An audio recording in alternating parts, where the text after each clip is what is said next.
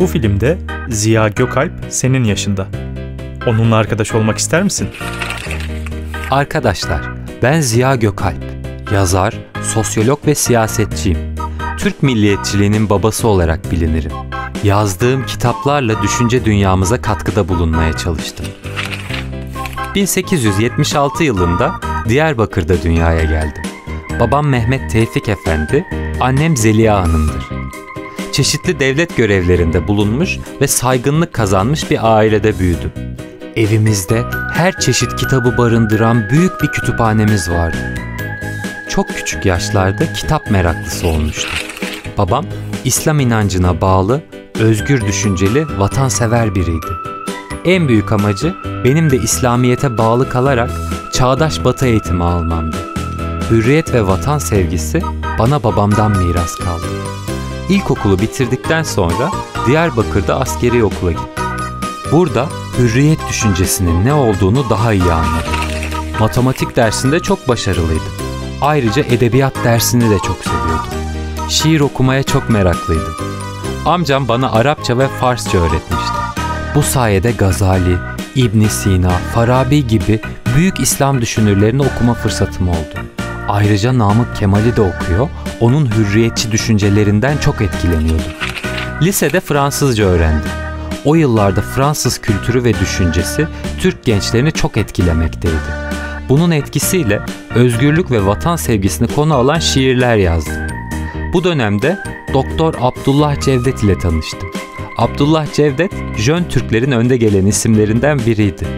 Onun etkisiyle sosyal ve siyasal konulara ilgi duymaya başladım. Kardeşim Nihat'la birlikte 1896 yılında İstanbul'a gittim ve Baytar Mektebi'ne başladım. Ancak vaktimin büyük bölümünü ülke sorunlarıyla ilgilenerek geçiriyordum. Bu dönemde Osmanlı İmparatorluğu toprak kaybediyor ve siyasi karışıklıklar yaşanıyordu. Ayrıca ekonomik olarak büyük zorluklar vardı. Böyle bir ortamda aydınlara düşen görevin halkı eğitmek ve bilinçlendirmek olduğunu düşünüyordum. İstanbul'da öğrenciyken benim gibi düşünen bazı insanlarla tanıştım. Ardından İttihat ve Teraki Cemiyeti'ne üye oldum. Ülkemizin ilerlemesi için yapılması gereken değişikliklerin Türk milli düşüncesine uygun olması gerektiğini düşünüyordum. Bunun için de Türk toplumunu iyi anlamalıydım. İleride Türkçülük olarak adlandıracağım düşüncelerimi bilimsel bir temelde geliştirmeye çalıştım. İstanbul'da geçen yılların ardından tekrar Diyarbakır'a döndüm. Bir süre ticaretle uğraştım. Daha sonra bir gazetede yazar olarak çalıştım. Diyarbakır'da bulunduğum dönemde bol bol okuma fırsatım oldu. Ayrıca köylülerin ekonomik sorunları üzerine yazılar yazdım. 1909 yılında Selanik'e gittim. Burada çevremdeki gençlere sosyoloji ve felsefe dersleri verdim. O dönem Genç Kalemler dergisi kültür hayatımız için çok önemliydi. Bu dergi yabancı sözcüklerin Osmanlı dilinden çıkarılmasını savunuyordu. Ben de bu çalışmalara destek verdim.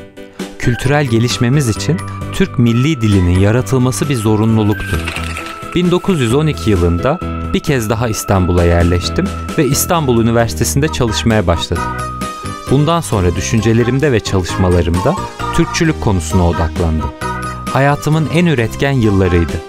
Birkaç yıl sonra bana Milli Eğitim Bakanlığı görevi teklif edildi. Ancak bu görevi kabul etmedim.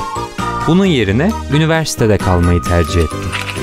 Üniversitede çalışırken eğitim sistemimiz üzerine bazı önerilerim vardı. Ders programları ve okutulacak kitaplar hakkındaki bu önerilerim kabul edildi. Sosyoloji dersinin Türk eğitim sistemine girişi de bu sayede oldu. Bu nedenle Türkiye'de sosyolojinin kurucusu olarak görüldüm. İstanbul'da Türk milliyetçilerinin merkezi olan Türk Ocağı'na üye oldum.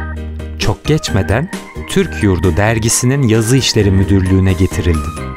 Bu dergideki yazılarım 1918 yılında Türkleşmek, İslamlaşmak, Muasırlaşmak adıyla kitap olarak basıldı. Yine çeşitli dergilerdeki yazılarımı topladığım Türkçülüğün Esasları adlı kitabım 1923 yılında yayımlandı. Sadece siyasal ve bilimsel konularda değil, aynı zamanda edebiyat alanında da çalışmalarım oldu. Bazı dergilere şiirlerimi gönderiyordum. Bu şiirlerim Yeni Hayat adıyla kitap olarak basıldı.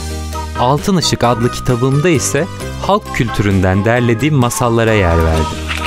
Yazılarımda Türk milletinin kim olduğunu, nereden geldiğini, nereye gitmesi gerektiğini göstermeye çalıştım. Çalışmalarım Türk düşünce hayatında kendisine önemli bir yer buldu. Sevgili çocuklar, umarım yaşam öyküm ilginizi çekmiştir. Türk milletinin yaşadığı sorunlara çözüm üretmek için bilimsel çalışmaların önemine inandım. Bunun için çok okudum, çok araştırdım. Sizlere de çok çalışmanızı öneririm. Böylece ülkenize ve tüm insanlara faydalı olacak işler başarabilirsiniz.